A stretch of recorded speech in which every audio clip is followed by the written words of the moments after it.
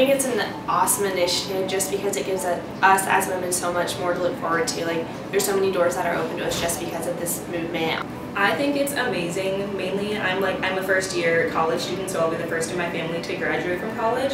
And so I think that like even giving other girls the same opportunity that I'm getting now is amazing, and for more first year students to be able to go to college. I feel that um, Briar Cliff in general has really gave, given me opportunities to be a leader, and I think that's really great that Briar Cliff is actually having a movement to emphasize this aspect because. Um, going into the med school and doing um, like healthcare things, I, I knew that I wanted to be in the leadership position, so I've been involved in that. By having, but by having this movement, it's going to allow a lot of other women to see that and to want to do that as well.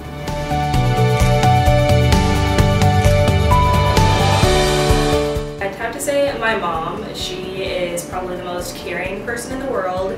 She adopted four kids and she now runs her own business as working with like recovering addicts, so alcoholics and like drug addicts and helping them find their way in life? Um, I definitely select my mom.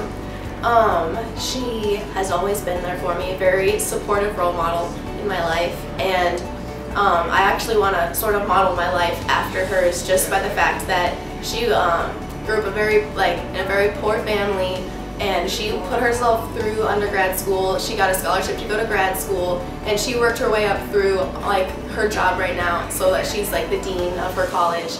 And that's just very inspirational and I want to be a strong woman leader like she is in the healthcare field.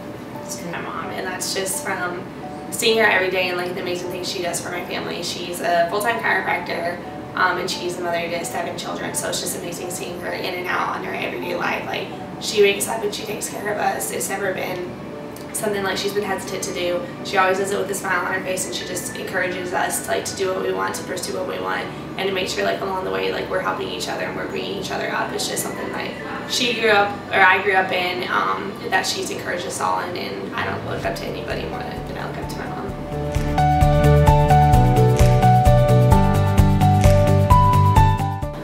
Feel that the 1930 movement is a very um, influential movement, very empowering movement for a lot of women here.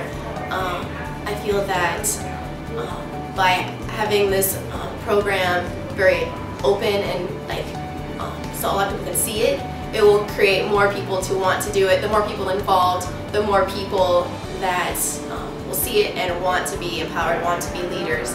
And the world always needs more female leaders. So.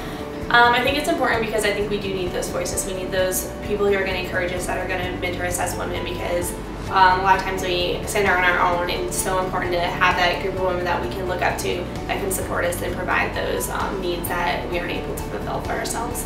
I think empowered women empower women and I think that being a part of this initiative and being able to help even just one person who in turn can help even more people would be amazing.